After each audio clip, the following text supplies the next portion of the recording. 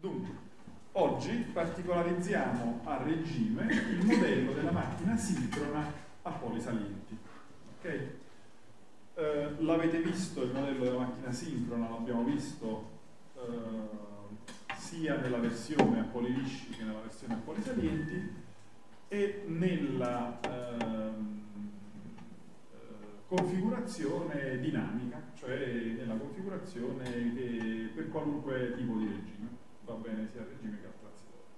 A questo punto, come al solito, come abbiamo fatto anche per la macchina a poli lisci, ehm, lo particolarizziamo per, eh, per poli, per, diciamo, per il regime stazionario psicosociale. Per far questo eh, vi do anche un'altra un versione del modello che però si aggancia a quella, ehm, a quella che abbiamo visto eh, in termini di flussi. Eh, questa versione si aggancia a quella in termini di correnti se sostituiamo ai, eh, diciamo, il legame flusso-correnti all'interno della macchina. Perché? Perché così diciamo, ci risulta anche mnemonicamente un po' più eh, facile da ricordare. Cioè, se io macchina, il modello della macchina la scrivo come V è uguale a R per I più dψ su dt più p omega r sì, ho scritto il modello della macchina sincrona in termini non di correnti, non compaiono più le correnti, ma compaiono i flussi. Se al flusso psi dico che è uguale a un psi più j psi q, cioè parte reale più parte immaginaria, e psi con d dico che è tutto quello che sta sull'asse diretto, cioè il flusso di asse diretto della corrente di statore più eh, diciamo abbiamo detto φ non è, abbiamo chiamato il flusso relativo all'eccitazione che può essere eh, sostenuto o dai magneti o dall'eccitazione dall amperiana e psi con Q è molto semplicemente L con Q con Q. Diciamo, questo modello si completa poi con eh l'equazione eh, del momento della coppia, eh, della coppia elettromagnetica che mi dice che T è uguale a 3 mezzi P per la parte immaginaria, se la vogliamo scrivere sempre in termini di flusso, psi eh, coniugato per I. Okay.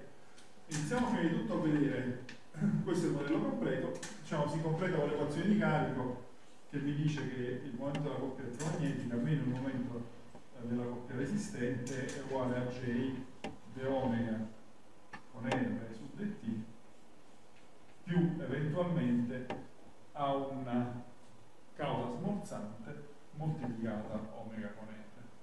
Okay?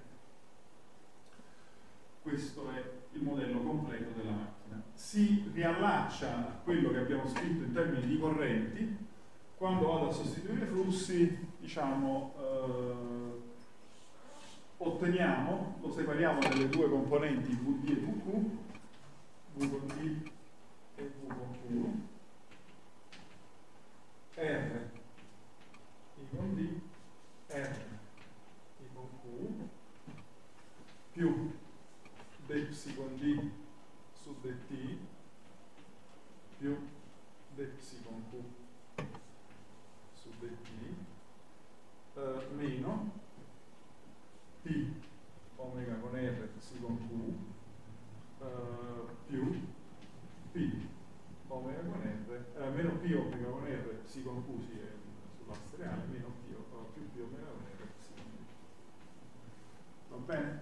sempre con psi con d e psi con q da, mi dà L con D, I con D più I con E e L con Q, I con Q, con il momento della coppia elettromagnetica che potremmo scrivere 3 mezzi P, ci prendiamo solo la parte immaginaria di psicolugato per I, cioè parte immaginaria di psi con D meno J psi con Q per la corrente I, che sarebbe I con D più J I con quantità qui la posso scrivere anche come 3 mezzi P. Eh, allora, la parte immaginaria sarà, quanta perché molto spesso sui testi, sui testi si trova in tutte queste maniere. Eh, quindi eh, eh, psi con D per I con Q eh, più ehm, scusate di meno così con Q I con D va bene? altro modo in cui si può, si può scrivere esplicito i legami flusso corrente. V con D e V con Q allora R I con D R I con Q più L con D D con D su dt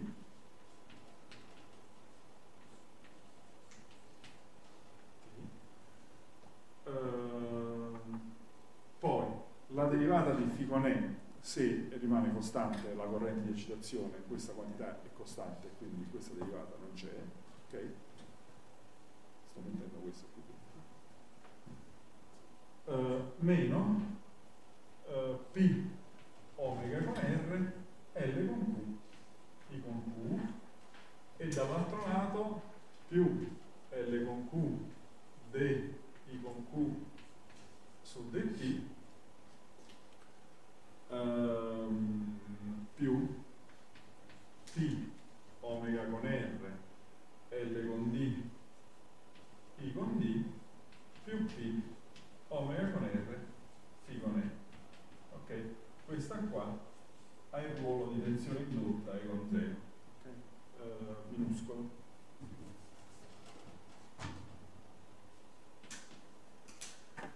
Uh, a questo punto i legami li abbiamo già esplicitati, li abbiamo già buttati nell'equazione di, stato, di statore, mi rimane soltanto T uguale a 3 mezzi P per uh, psi con D per I con Q meno psi con Q per I con D e questa fa, non fa altro che uh, L con D meno L con Q per I con D. I con Q più uh, uh, L dunque psi con Q per I con D no psi con D per I con Q quindi Φ con E per I con Q okay. questo è abbiamo ritrovato il modello che avevamo scritto quindi scriverlo in questa maniera qua in termini di relazioni di flusso correnti o in questa maniera qua in termini di flussi diciamo è equivalente perché siamo andati da un lato all'altro possiamo andare dall'altro all'uno va bene? questo è il modello della macchina sincrona in questa configurazione è diciamo in configurazione da motore bene? Ci siete? Domande? Abbiamo capito che abbiamo fatto? Abbiamo scritto semplicemente, si può scrivere in varie maniere. A seconda di quello che uno ci vuole fare, tipo voglio eh, fare un controllo di corrente, un controllo sul flusso, un osservatore che mi veda il flusso quanto vale e così via, io me lo scrivo nella maniera più opportuna e nel riferimento più opportuno, abbiamo visto che si può scrivere anche nel riferimento di statore qualora mi dovesse servire. Bene, poi diciamo una delle cose che diremo oggi andrà un po' ad esemplificare diciamo, il cambio di riferimento del modello e vedremo cosa succede quando diciamo, in alcuni casi conviene riferissero allo statore perché è un po' più conveniente riferirlo allo statore. Bene? Ok, allora a questo punto partiamo dalla scrittura di uno di questi modelli, per esempio questo, e ce lo andiamo a particolarizzare per regime stazionario e sinusoidale. Ma la cosa ci viene abbastanza semplice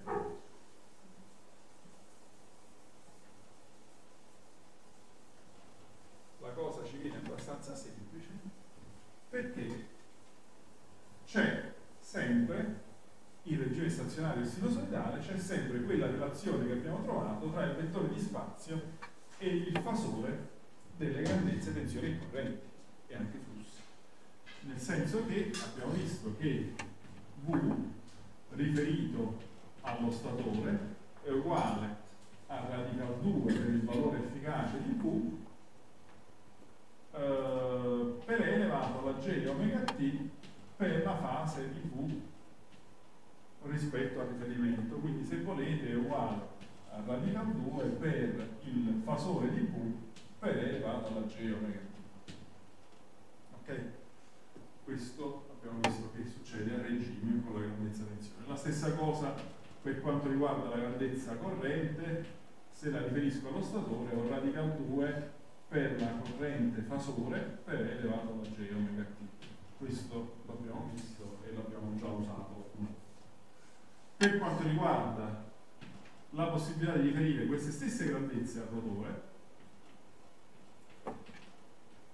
V riferita al rotore come al solito V riferita allo statore per elevato alla meno J omega.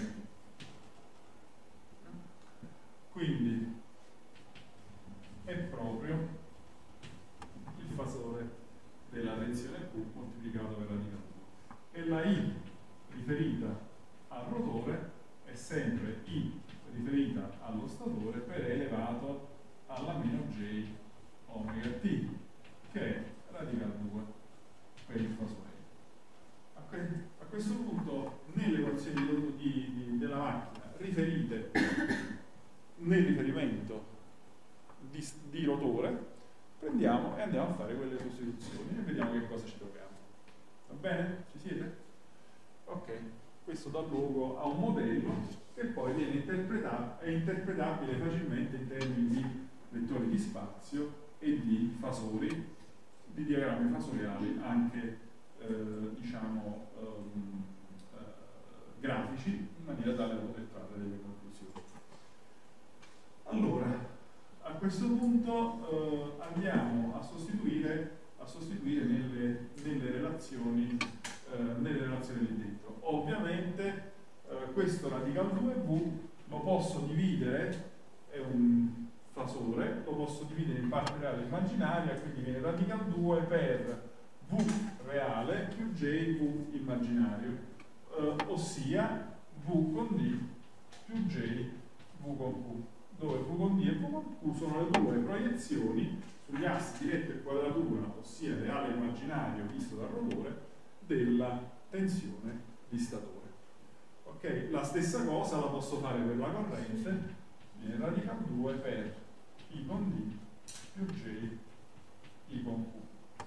Ok, questa è una cosa che non, non era stato tanto necessario farla quando abbiamo fatto i fasori il modello in termini di fasori della macchina sincrona a traferro costante. Lì non c'era necessità di farlo per, per, un motivo che poi diciamo vi sarà più chiaro adesso, ma qualcosa. Allora, quindi abbiamo V con D e V con Q.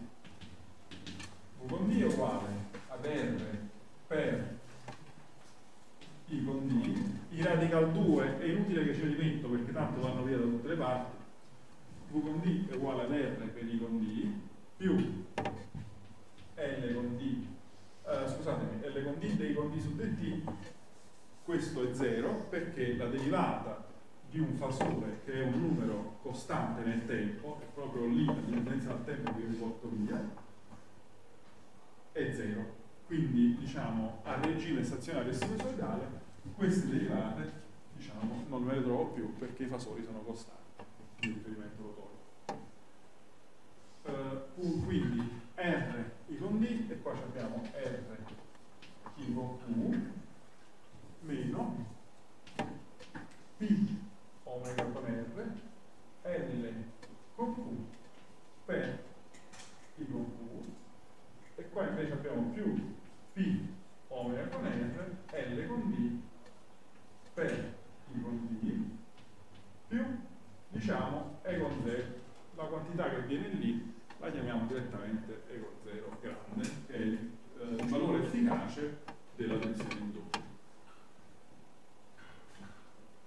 quanto riguarda eh, la coppia, eh, per quanto riguarda la coppia ci dobbiamo stare un attimo attenti con radical 2 sotto, perché questa volta ce li dobbiamo mettere perché non vanno via direttamente, ma avremo che t è uguale a 3 mezzi p per eh, L con D meno L con Q per I con D con Q, quindi per 2 eh, I con D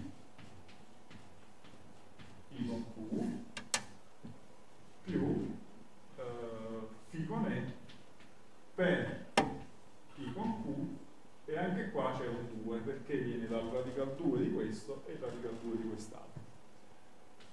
Questi due vanno via con il 2 al denominatore e quindi rimane 3p per L con D meno L con Q per I con D, I con Q più eh, Φ con E ok? Φ con E per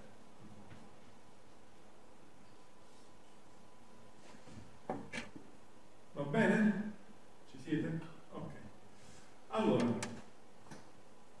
iniziamo a vedere eh, queste due relazioni e poi dopo ci scriviamo la relazione che ci dà la coppia eh, in termini non più di correnti ma di tensione impressa qualora avessimo una tensione impressa ok?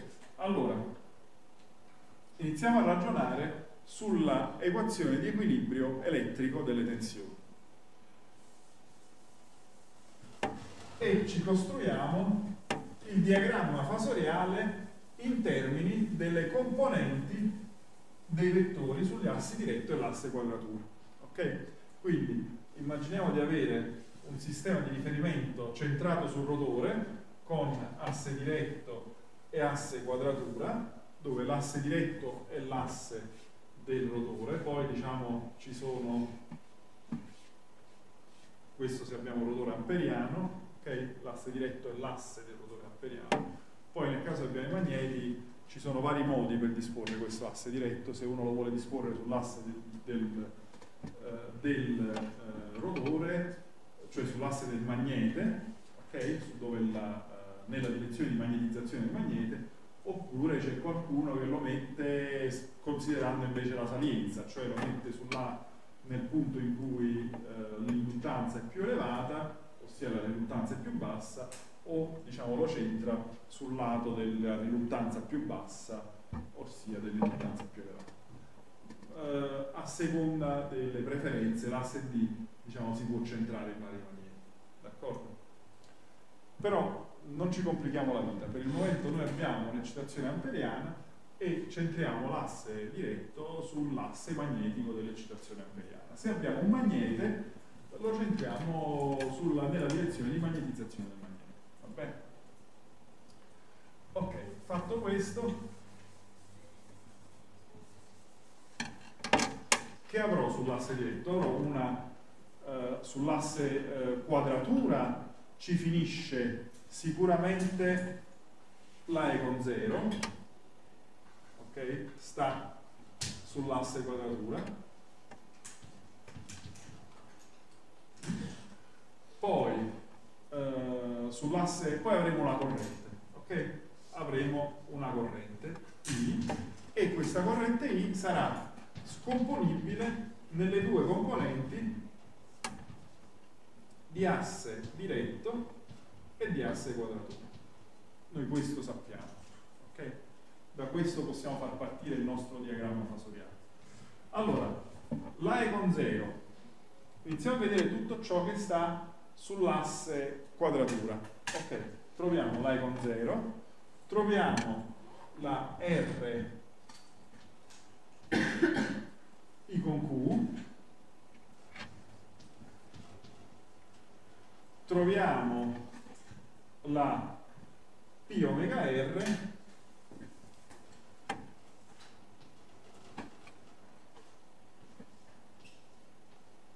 L con D, I con D. Cioè, ah, notate che abbiamo levato da mezzo, trovandoci sul rotore, quando abbiamo scritto le equazioni in termini di eh, regime stazionario sinusoidale, sono scomparse le trasformatoriche e rimangono soltanto le rotazionali. Okay? Ehm, quindi abbiamo la rotazionale relativa all'induttanza di rotore, ehm, dopodiché iniziamo a mettere quello che troviamo sull'asse diretto e sull'asse diretto troviamo la R I con D e poi troviamo la meno P omega R LQ I con Q che va nell'altra direzione.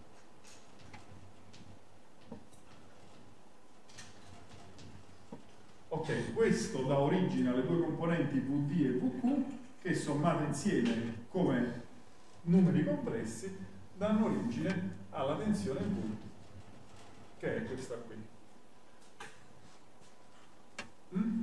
Queste componenti che, le, eh, che, abbiamo visto diciamo, come eh, numeri eh, reali e numeri immaginari le possiamo anche considerare come dei vettori, alcuni hanno soltanto la parte reale, altri hanno soltanto la parte immaginaria, mentre V è l'unico che ha sia la parte reale che la parte immaginaria.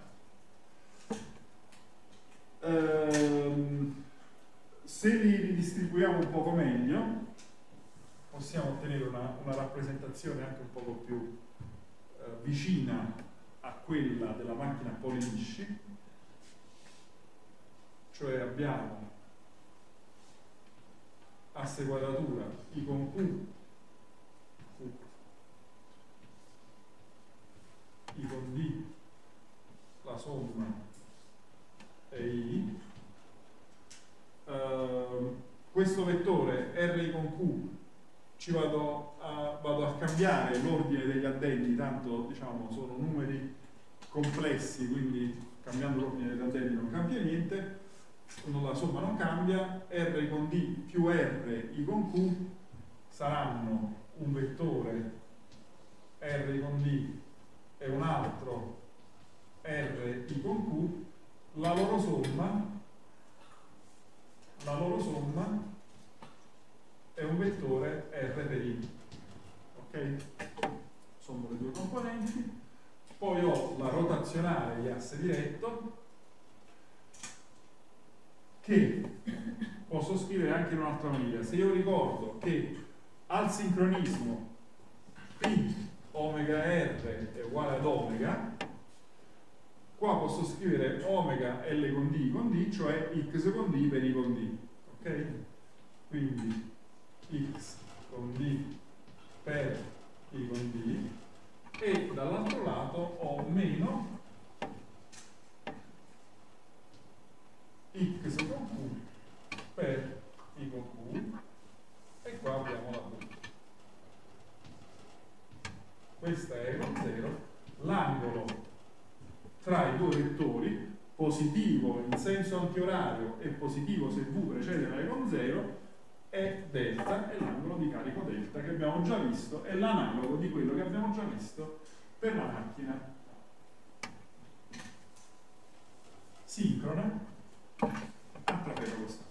Allora dove sta la differenza? Perché diciamo fino a questo punto qua del modello è tutto uguale, anche la voce delta, la differenza dove sta?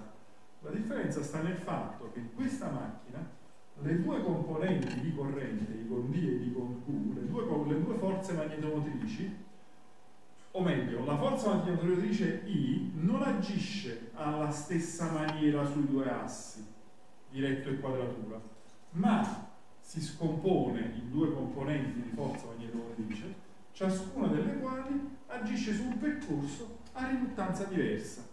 Ok? Cioè ciascuna delle quali, ciascuna delle due componenti agisce su un percorso a riluttanza diversa e dà luogo quindi a delle cadute di, ehm, sulla reattanza sincrona che non sono uguali in tutte le direzioni, ma in una direzione dà un luogo a una certa caduta con un certo valore di riluttanza, perché si applica su un certo valore di reattanza, in un'altra direzione dà luogo a un altro tipo di caduta induttiva perché si applica su un altro valore di reattanza. Quindi devo prima scomporre la corrente nelle due componenti e queste due componenti danno cadute diverse nelle due direzioni.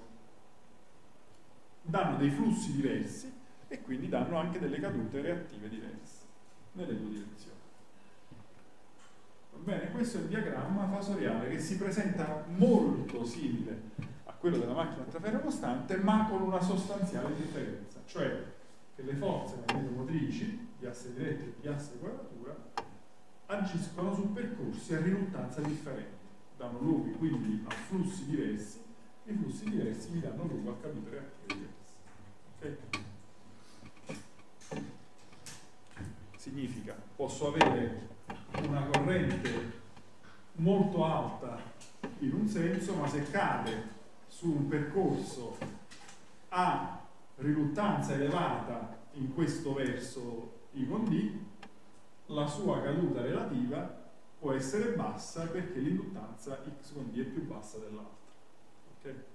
Quindi conta anche come gliela sto somministrando. Bene? Ok. Questo per quanto riguarda il diagramma fasoriale e il diagramma fasoriale è diciamo questo che vedete scritto così. Molto spesso sui testi lo trovate scritto immaginando che eh, le componenti di asse diretto e di asse quadratura eh, siano altrettanti vettori, cioè nei testi eh, quando io scrivo la I io l'ho scritta come I con D più J I con Q nei testi la trovate scritta anche come I con D più I con Q ok? dicendo che questo è un vettore è un, un fasore che ha soltanto parte reale e questo qua è un fasore che ha soltanto parte immaginaria se la scrivo così, eh, diciamo, eh, l'equazione mi risulta la seguente, V è uguale ad R per I, tanto li posso sommare insieme, ehm, ehm, più J x eh, con Q con Q i con Q uh, più J x con D I con D più E con Z ok? la potete trovare scritta anche in questa forma qui ma è semplicemente un'operazione formale che deriva dall'aver incorporato uh, i fasori in questa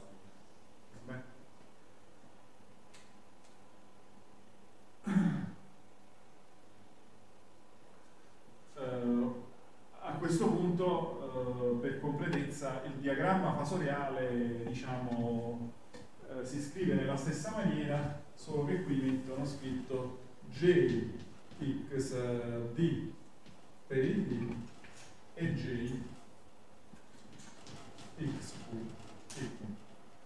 E con il segno però di fasore non sto più eh, diciamo, guardando alle componenti sull'asse diretto e sull'asse immaginaria, ma le sto vedendo come dei fasori, incorporando il J dentro il fasore di moto. Va bene? Oh, cosa ci resta da fare a questo punto? Questa equazione della coppia eh, la voglio scrivere in termini di tensione impressa. Ok? Fino ad ora questa macchina, perché questa macchina normalmente si tratta così, normalmente è una macchina a corrente impressa e quindi eh, diciamo la coppia, così come avete visto nella lezione precedente, la coppia si adopera in questa forma qui, con, scritta con le correnti, perché avrò qualche cosa che sarà un convertitore che mi va a imprimere direttamente le correnti necessarie alla macchina per produrre quel valore di coppia. Eh, però per la macchina sincrona a polilisci l'abbiamo già scritta in termini di tensione impressa, scriviamocela anche qui in termini di tensione impressa.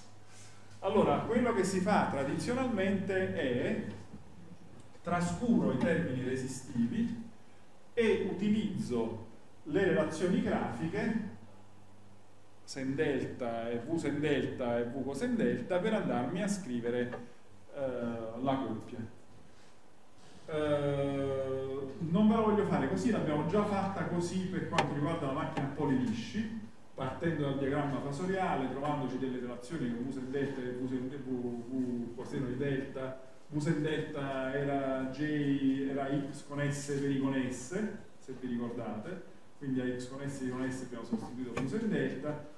Non ve lo voglio fare così perché eh, vi voglio dimostrare che se io agisco con le equazioni trovo poi alla fine la stessa cosa. E quindi ce la facciamo a partire dalle equazioni va bene? quindi questa volta facciamo un altro, un altro approccio. Così diciamo vi è chiaro che o agiamo sui fasori in maniera grafica che è un po' più immediato oppure agiamo in maniera analitica stiamo facendo la stessa cosa. Quindi ve la voglio presentare anche in maniera, in maniera analitica. Ok allora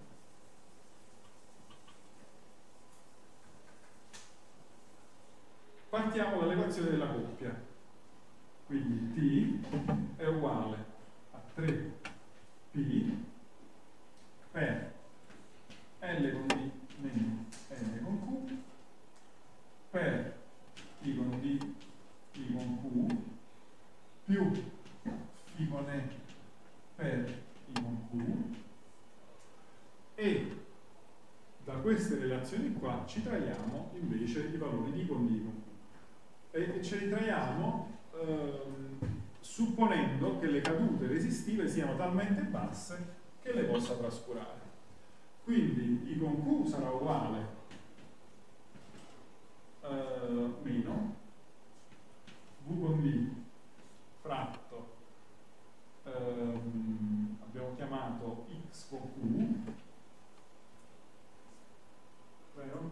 Eh, meno V con D diviso uh, x con q, sì, e uh, i con q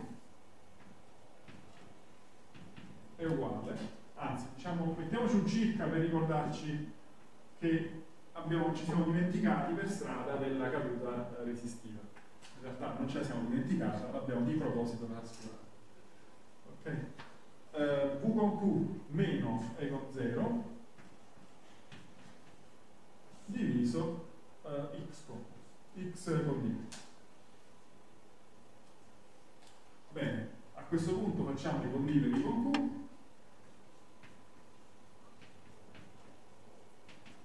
È uguale uh, V con D, V con Q fratto x con D, x con Q meno E con 0, V con D fratto x con d con q, x con q.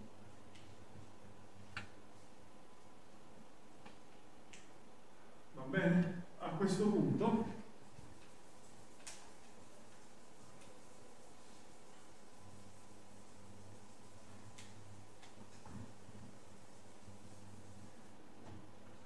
uh, sostituisco, ah, mi ricordo prima di tutto che allora guardo un attimo il diagramma e trovo, eh, cioè anche senza guardare il diagramma, trovo che V è scomponibile V con D più J V con Q e se voglio V con Q è facile perché è V per il coseno di delta bene? mentre V con D attenzione al segno V con D sta sull'asse reale della sta dall'altro lato, quindi è uguale a meno V per il seno di delta. Sostituisco qui dentro e mi trovo che eh, I con Q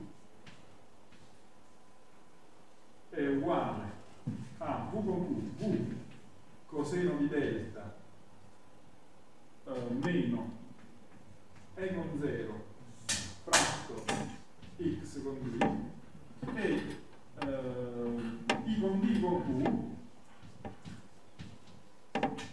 è uguale a v di vq quindi v al quadrato per sen delta ma sen delta cosen delta lo posso scrivere anche con un mezzo seno di 2 delta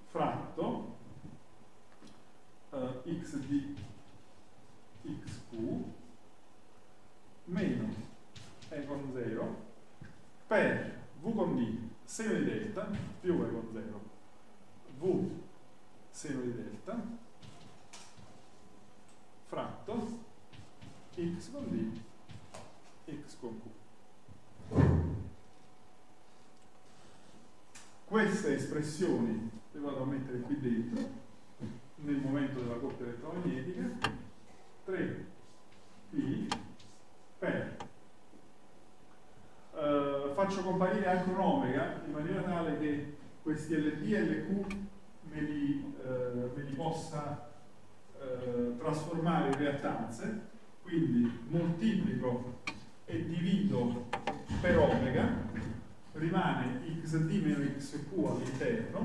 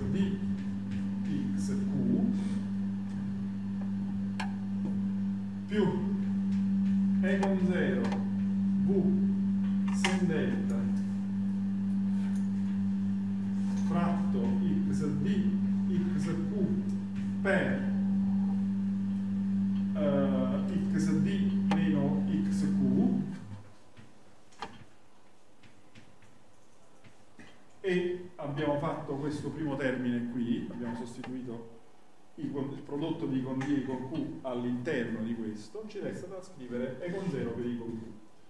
Più E con 0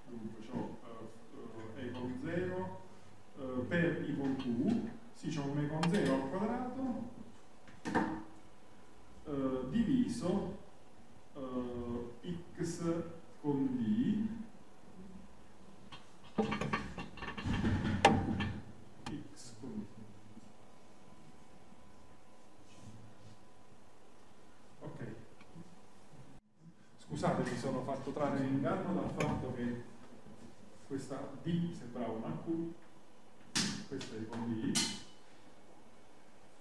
Eh, a questo punto questi due termini qui non ci sono e devo scrivere semplicemente E con 0 per I con Q, quindi E con 0 per V con D, ma V con D è uguale a meno V seno di delta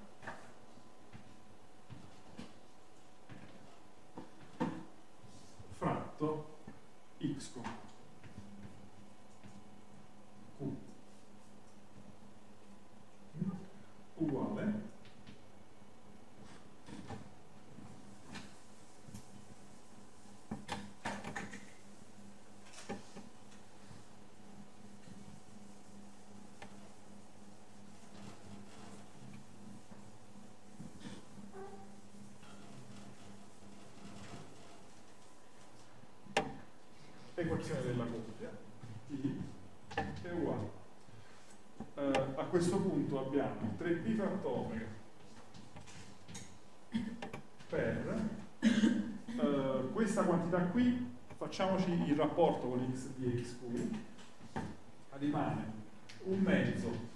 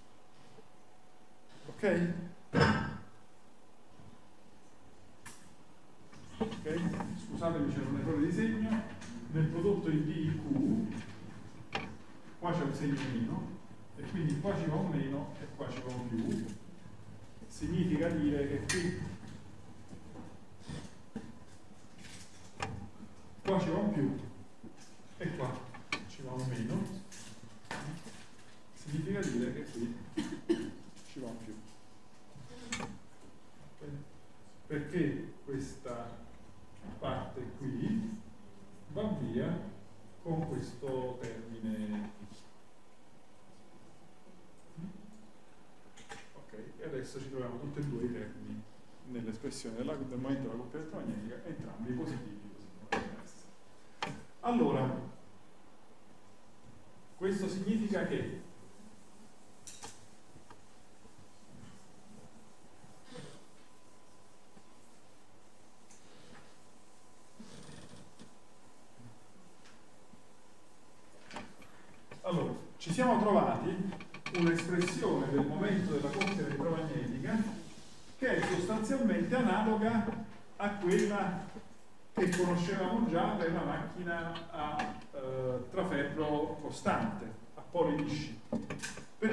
sostanzialmente questa parte qua, ve la ricordate, è un termine, è un addendo che rappresenta proprio la coppia data dall'interazione del campo di rotore con il campo di statore e passa per la reattanza questa volta di asse diretto, mentre invece nella macchina polilisci c'era soltanto questo termine e qui sotto avevamo la lattanza sincrona. Quindi sostanzialmente questo che ci dice? Ci dice che tutte le cose che avevamo trovato, oscillazioni pendolari e tutte le analisi che avevamo fatto sulla coppia, quando abbiamo usato le equazioni di coppia, le possiamo riportare pari pari anche sulla macchina a polisalenti. Eh, c'è una cosa in più, c'è un pezzo di coppia in più, questo, questa parte di coppia, notate, è presente anche quando non è presente l'eccitazione. Okay? Quando levo i magneti, quando levo la corrente di eccitazione, quindi c'è coppia in queste macchine, queste macchine generano coppie anche quando non è presente eccitazione, okay? sfruttando semplicemente la salienza, la differenza di eh, realtà di asse diretto e di asse quadrato. Va bene? Quindi ci siamo scritti anche il modello in termini di valori ai, eh, al regime stazionario e sinusoidale e ci siamo trovati anche il momento della coppia elettromagnetica abbiamo fatto qualche considerazione. Allora, la cosa importante e interessante è che questo secondo termine non va con eh, il seno dell'angolo delta, ma con il seno dell'angolo 2 delta. Quindi, se volessimo rappresentare il momento della coppia elettromagnetica in funzione dell'angolo delta, non avremmo semplicemente la curva che abbiamo sfruttato ampiamente per la macchina a poli lisci, ma abbiamo che a questa quantità dobbiamo sovrapporre anche un andamento a seguito del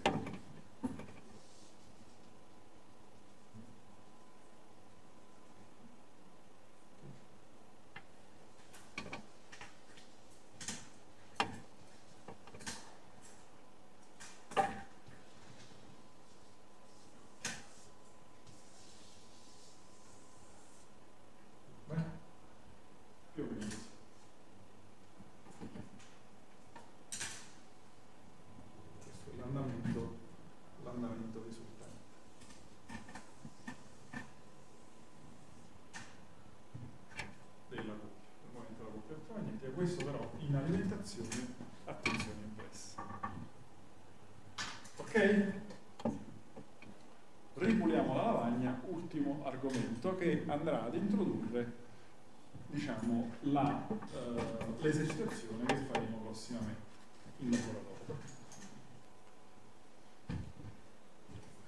Allora, uh, vediamo un attimo come mh, uh, ricavare i parametri della macchina sincrona.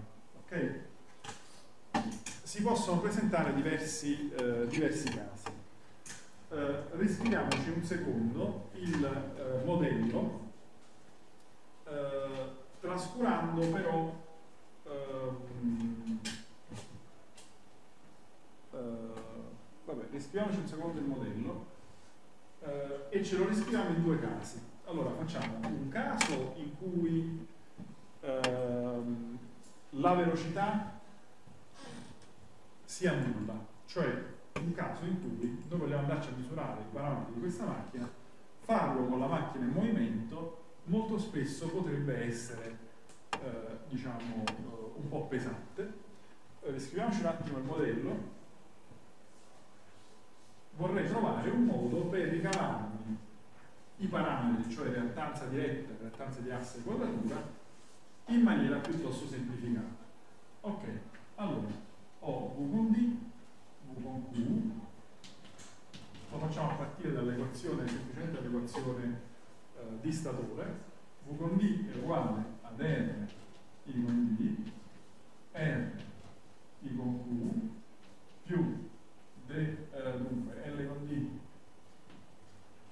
D I con D su dt più L con Q D I con Q qui meno P omega con R L con Q I con Q uh, più I omega con R L con D I con D più diciamo E con 0 ok? Allora, scriviamoci così il modello così è completo, però io adesso vorrei trovare delle soluzioni semplificate per andarmi poi a ricercare il valore dei parametri della macchina. Ok, un primo metodo è lavorare su questo modello e ci sono diversi metodi, ci sono tantissimi. Ve ne do due semplici che poi diciamo adopereremo in laboratorio. primo metodo è andare a lavorare con velocità nulla. Ok? Quindi quando omega con R è uguale a 0, rotore bloccato, al rotore bloccato mi vengono via questi termini rotazionali più la E con 0 che anch'essa di per sé è un termine rotazionale. Quindi cosa rimane? Rimane V con D eh, circa pari a L con D DI con D su dt e V con Q circa pari, anzi facciamo così, facciamo proprio pari a, no? ci mettiamo il termine resistivo questa volta, V con D e V con Q è uguale L con Q, D, I con Q su dt più R per I Q. Ok? Semplice, semplice. A questo punto cosa facciamo? Blocchiamo il rotore nella, eh, diciamo, in maniera tale che l'asse del rotore coincida con l'asse la, della prima fase di statore. Ok? Quindi facciamo in modo che se abbiamo tre fasi di statore,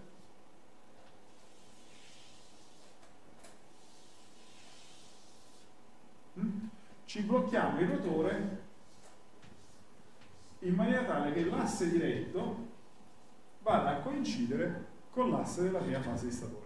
Come facciamo per fare così? Beh, possiamo fare una cosa piuttosto semplice. Colleghiamo le tre fasi di statore. Immaginiamo di avere uno statore a stella, ma se lo avessimo a triangolo sarebbe la stessa cosa. Le colleghiamo a una sorgente di alimentazione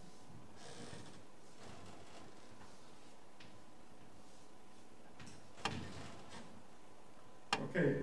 Colleghiamone due in parallelo e la terza, diciamo, e le facciamo percorrere dalla stessa corrente. Visto che la corrente è la stessa, si dividerà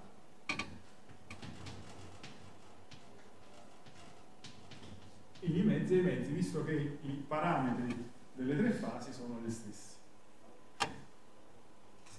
Oh, a questo punto, quale sarà il vettore di spazio della corrente di statore? I è uguale ai due terzi di I con 1 più I con 2 per E elevato alla J 2 pi rego terzi più I con 3 per E elevato alla J 4 pi terzi. Ok? Uguale 2 terzi allora, in ogni istante noi avremo che la corrente nella fase 1 sarà I con 1, la corrente nella fase 2 e nella fase 3 saranno uguali ad I con 1 in modulo, ma saranno opposte rispetto alla I con 1, quindi meno I con 1 mezzi per elevata alla J 2 pi terzi, meno I con 1 mezzi per E elevata alla J 4 pi greco terzi. O le parti immaginarie di 2 pi terzi di 4 pi terzi si eliminano a vicenda, si elidono a vicenda perché sono uguali ed opposte e rimane uguale ai 2 terzi per i 3 mezzi di con 1 ricordando eh, vabbè, per i 3 mezzi di I con 1 perché qua abbiamo meno un mezzo qui abbiamo meno un mezzo quindi abbiamo complessivamente in parentesi i 2 terzi 3 mezzi con 1 cioè I 1 ossia il vettore di spazio è un vettore fisso nello spazio e disposto sull'asse reale, cioè sull'asse diretto, cioè sull'asse della prima fase, e vale proprio il valore della corrente economica. Ok?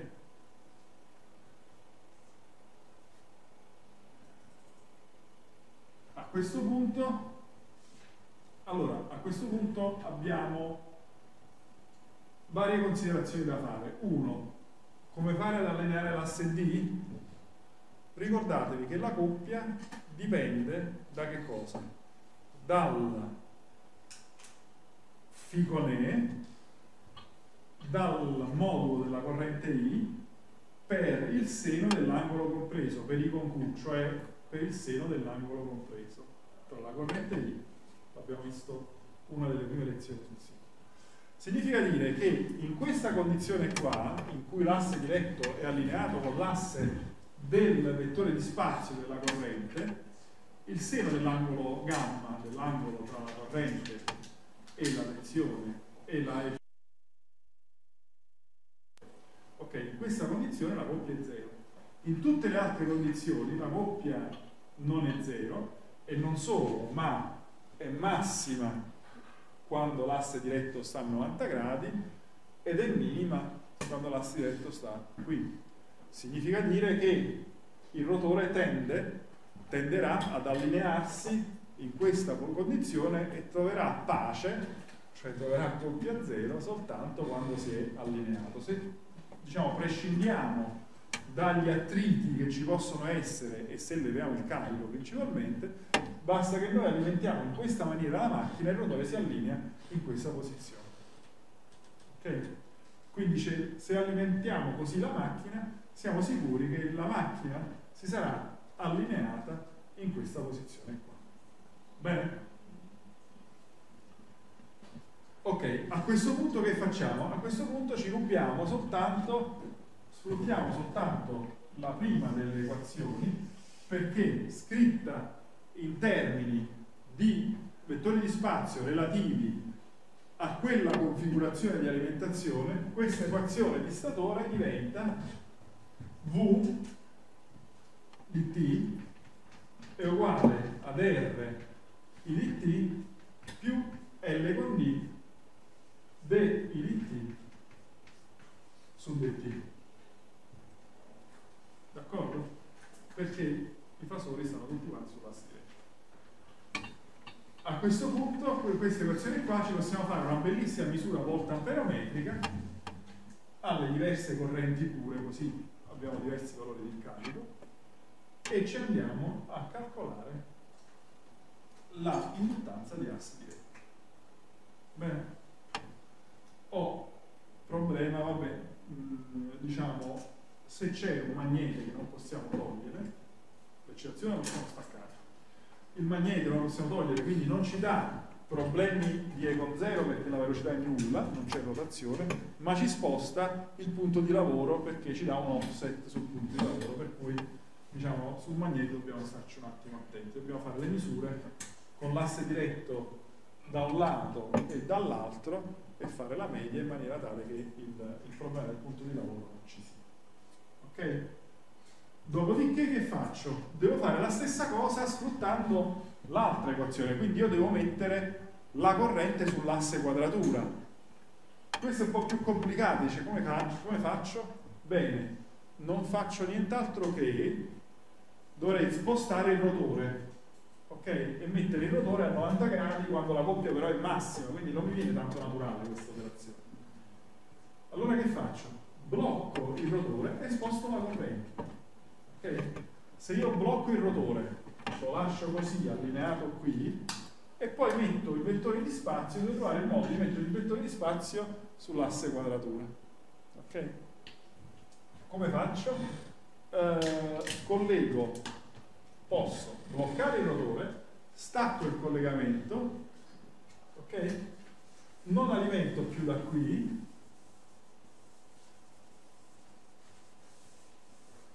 ma alimento? Sono un po' egoico con il G6 alimento da quest'altro lato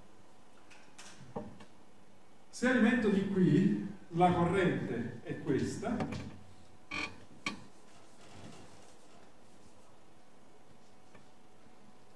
Qua entra e dall'altro lato esce. Avremo che questa corrente qui nella prima fase non c'è. E quindi avrò che la corrente I, il vettore di spazio della corrente I, sarà molto semplicemente i due terzi di uh, I con 2 per elevato alla J 2 pi terzi eh, meno i con 2 per elevato alla j 4 pi greco terzi. Bene. O a questo punto le parti reali si ridono perché sono meno un mezzo e meno un mezzo e vanno via, mentre le parti immaginarie di questi numeri complessi non si ridono ma si sommano e quindi rimane eh, radical 3 mezzi per eh, i con 2 eh, più radical 3 dunque j j radical 3 mezzi per i con 2 queste sono le parti immaginarie considerando anche il segno meno quindi rimane 2 e 2 vanno via radical 3 eh, rimane 2 eh, radical 3 terzi per j per i con 2 di t uguale j per 2 fratto radical 3 per i con 2 di t.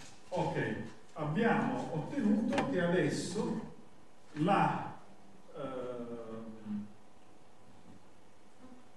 eh, la corrente, il vettore di spazio della corrente, è tutto quanto sull'asse quadratura.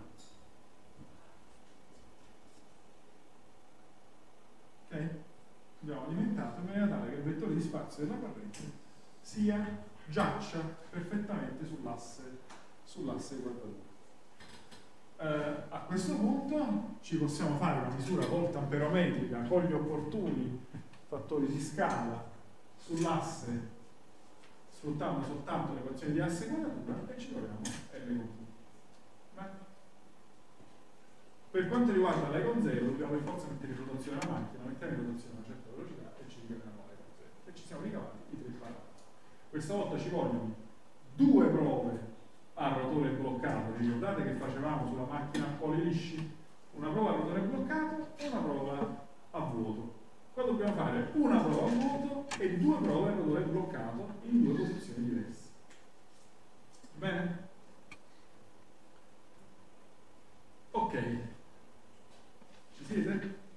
Altra prova che si può fare è una prova che si fa soltanto nelle macchine in cui io questa non la posso effettuare, cioè prova per macchine amperiane, soltanto per macchine amperiane, per verificare i valori, i valori di riluttanza. Ok? I due valori di induttanza di asse diretto e di asse quadratura.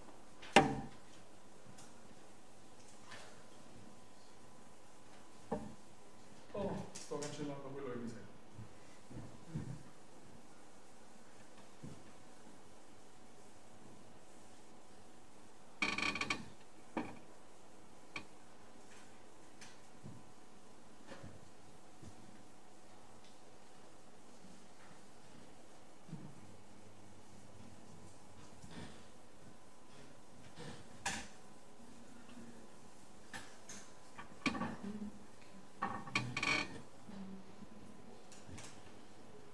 Allora,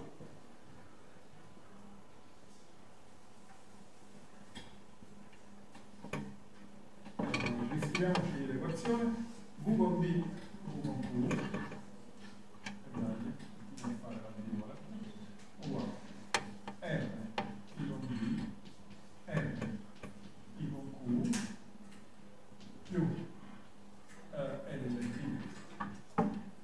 d i con b su dt, eh, più L con q, d i con q su dt, questo. Ok, allora riprendiamo il modello. Eh, osservare questo modello ci suggerisce anche come fare se io voglio invece ricavare le L con D e le L con Q da una prova, da una prova a regime. Ok? Oh, abbiamo visto che a regime stazionario sinusoidale queste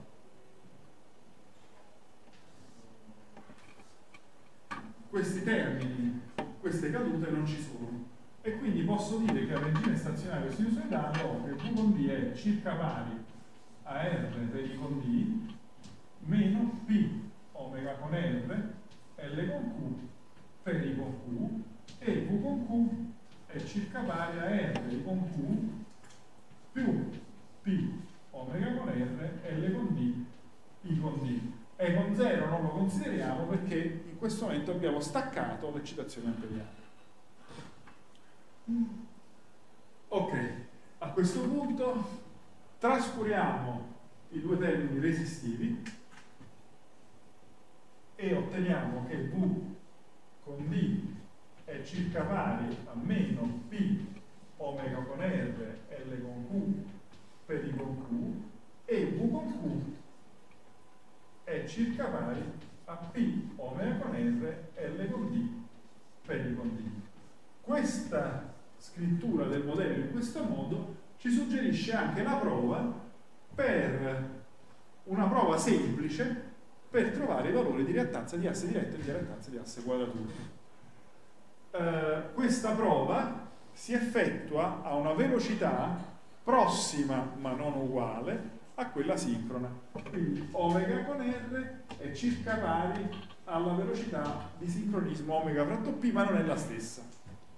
Per esempio potrebbe essere fatta trascinando la macchina sincrona con un motore asincrono, in maniera tale da arrivare a una velocità di scorrimento tale che S è uguale a omega fratto P meno omega con R diviso omega fratto P, ma non arrivare alla velocità di sincronismo.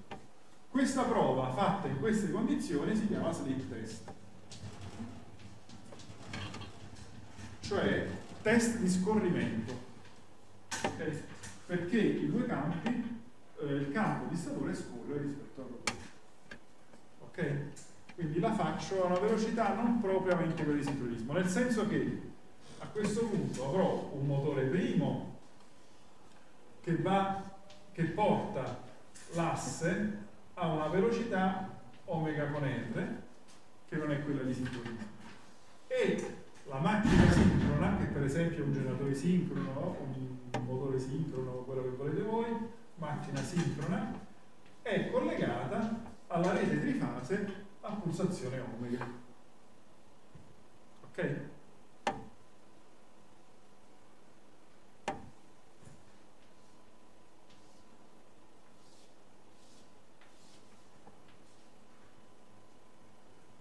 Bene, quindi praticamente non sono proprio uguali, ma sono vicini nelle due velocità. Cosa succede?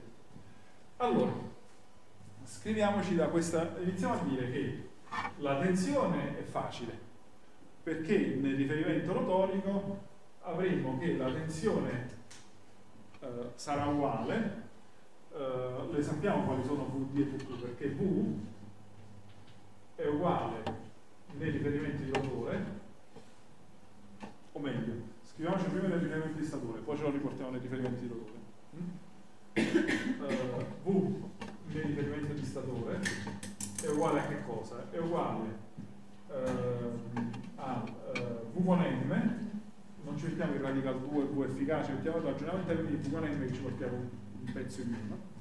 V con m per elevato alla j omega t. Ok? È ancorato al campo dello statore, è ancorato alla rete.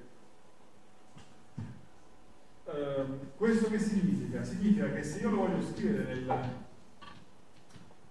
sistema di riferimento del rotore, dovrei scrivere V nel sistema di riferimento di statore per uh, E elevato alla meno J omega con R, P omega con R, T. Che lo sto riportando nel sistema di riferimento di rotore come siamo abituati a fare JP data, ok? Come abbiamo già fatto varie volte.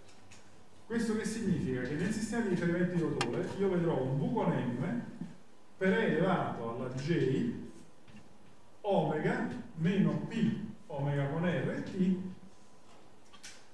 ossia V con M per E elevato alla J S omega ma questo non ci dice niente di nuovo, cioè ci dice che se alimentiamo lo statore a frequenza omega, abbiamo un campo, questo campo viene visto dal rotore a frequenza S omega. l'avete già visto un milione di volte quando avete parlato della macchina async. E questo è V con R. Ok? A questo punto che cosa me ne faccio? Mi scrivo queste due, eh, queste due equazioni. Allora, um, uh, I con Q è uguale, diciamo circa uguale, a V con D diviso uh, col segno meno uh, P omega con R L con Q. I, uh, I con D è circa uguale a V con Q diviso P omega con R L con D.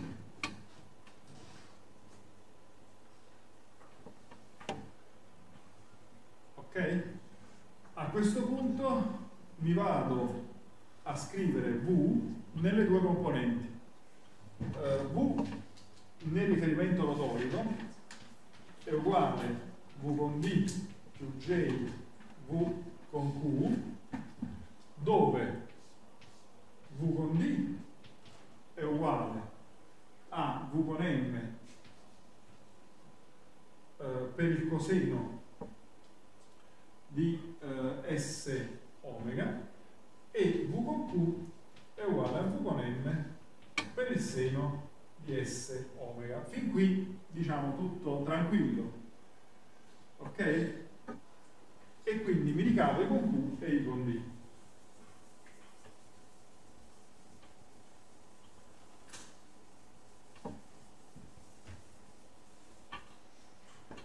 Allora, I con Q e I con D. Allora, I con Q è uguale a meno V con D, V con M, coseno di S omega, fratto P omega con R, L con Q, e I con D è uguale V con M per il seno di S omega diviso P omega con R, L con D. Bene? Ok. Che cosa voglio sapere io? Voglio fare una semplice, cioè voglio andare a misurare con un amperometro la corrente che passa nelle fasi, ok? Nelle tre fasi di statura. So la corrente che passa nelle tre fasi di statura, ma la so in componenti di D e Q, cioè la so riferita al riferimento di rotore, me la devo riportare nel riferimento di statura.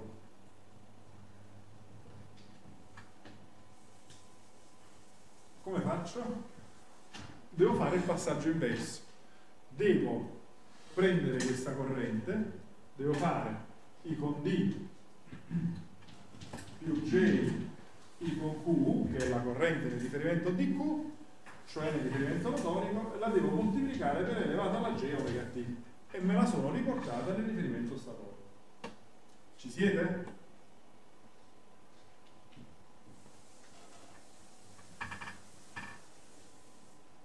Ok, questa è la corrente I che abbiamo scritto nel riferimento rotorico, ce la, siamo, ce la dobbiamo riportare nel riferimento statorico. Uguale. Uh, abbiamo detto quindi uh, I con D per elevato alla J omega T, uh, facciamo così, I con D, facciamo così, I con D più J I con Q per eh, coseno di omega t più j seno di omega t. Uguale. La parte reale sarà i con d per il coseno di omega t ehm, meno i con q per il seno di omega t più j per eh, I con Q coseno di omega t eh, più I con D per il seno di omega t.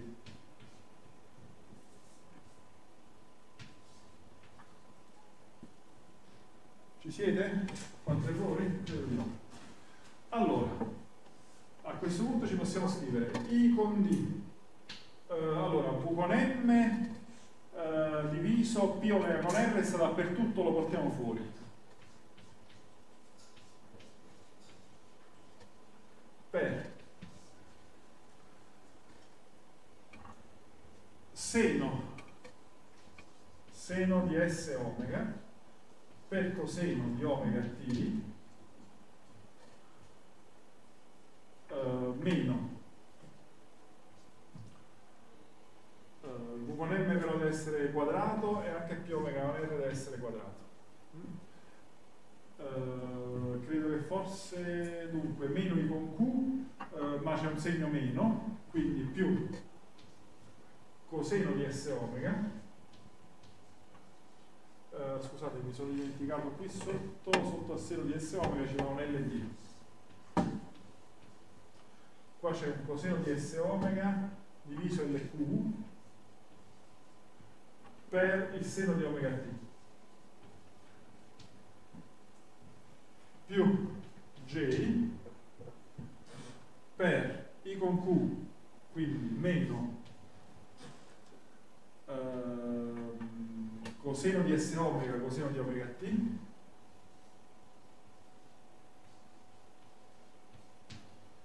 Fratto L con Q. Più I con D seno di omega t. Più eh, seno di S omega per seno di omega t eh, diviso LD.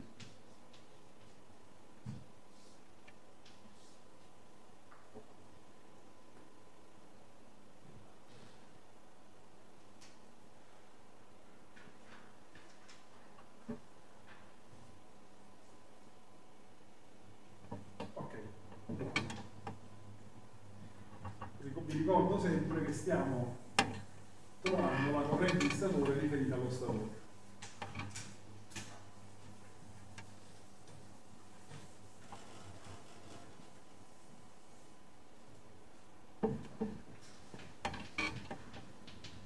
Allora, ricordandoci le formule, se ce le ricordiamo, di Prostafelesi, V con M al quadrato diviso, vedi se equivano a qualcosa, omega con r al quadrato eh, 1 su L con D per seno. Qua ci va il seno della somma più il seno della differenza quindi seno di eh, S omega più omega t.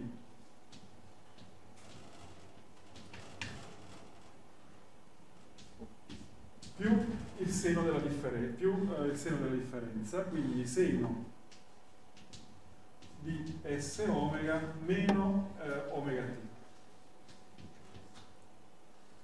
E questo è 1 su LT più eh, coseno Uh, dunque più coseno per il seno sempre la stessa cosa seno di uh, s omega Uh, mi sono dimenticato dunque questa qua è un'altra parentesi che si chiude. Qua ci va un 1 su LQ seno di S omega uh, sempre la stessa cosa più omega t più seno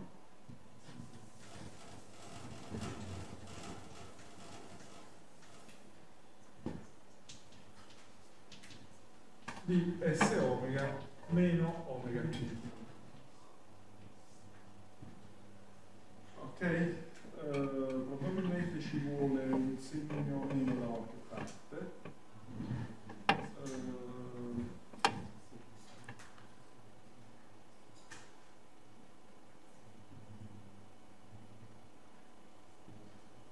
sì, ci vuole un segno meno, scusatemi allora scusate, prima di tutto ci vuole il T dove stanno tutti gli S omega ok? E poi questo segno qua è invertito perché qua c'è seno di S omega coseno di omega t, qua c'è seno di omega t per il coseno di S omega, quando vado a fare la differenza, da un lato viene S omega meno omega t, dall'altro viene omega t meno S omega. Quindi qua ci mettiamo un segno. Ok? E qua chiudo. Uguale, uguale v con n al quadrato diviso p omega con n al quadrato. Ah, scusate, ci sarebbe anche la parte immaginaria. Ok? Quindi qua ci sarebbe più j per qualche cosa. Ok, però a me interessa andare a misurare una corrente, per esempio la corrente della fase 1.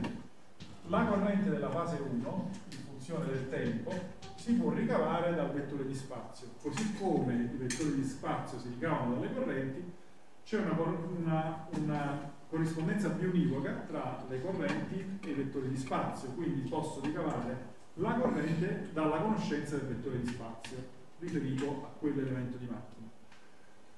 Non so se avete fatte le formule inverse che dal ehm, vettore di spazio fanno risalire alla corrente, ma se possiamo considerare omopolare nulla, cioè che la somma delle tre correnti è nulla, cosa che in una macchina simmetrica si verifica, si verifica anche che la corrente I con 1 nella fase 1 la posso calcolare come la parte reale del vettore di spazio.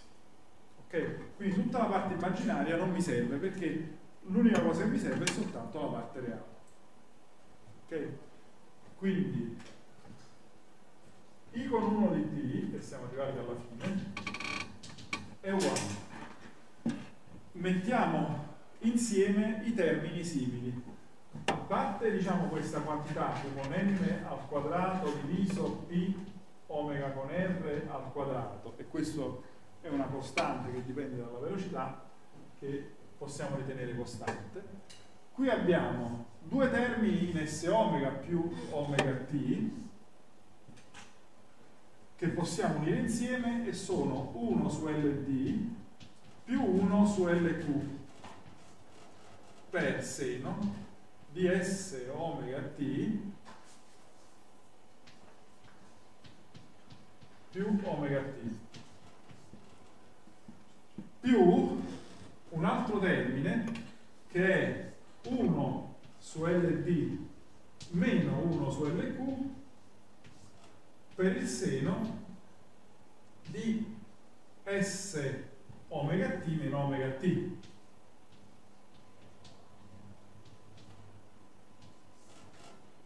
ok?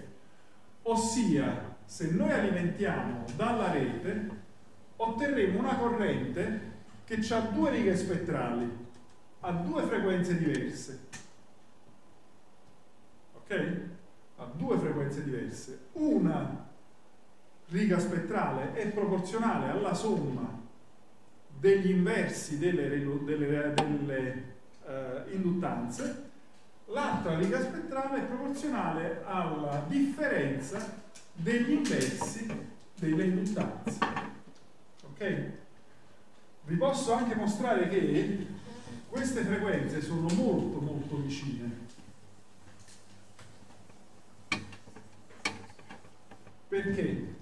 Perché S omega t più omega t quanto vale? S omega t sarebbe omega fratto p meno uh, omega r ok uh, diviso um, scusate uh, diviso omega fratto p per omega? Che è uguale ad omega meno p uh, scusate, S omega T, ok, uh, questo sarebbe omega uh, meno P omega con R, d'accordo? Se io ci sommo omega T, ottengo che S omega T più omega T è uguale a omega meno, meno più omega con R più omega, quindi 2 omega meno P omega con R. detto che P omega con R è molto vicino ad omega, ok? Stiamo lavorando per omega con R molto vicino ad omega, quindi questa quantità qua è vicina ad omega, perché 2 omega meno una quantità che è prossima ad omega. Ok? Questo qua è una quantità un po' più grande di omega. Mentre invece S omega T meno omega T S omega T meno omega T abbiamo detto che S omega T è omega meno P omega con R meno omega T è uguale a P omega con R o meno P omega con R uh, sì, meno P omega con R ma questa dal punto di vista della frequenza è anche questa pari prossima ad omega sono due frequenze, due pulsazioni molto simili ok? sono molto vicine a cosa dà origine due pulsazioni molto vicine che si sommano?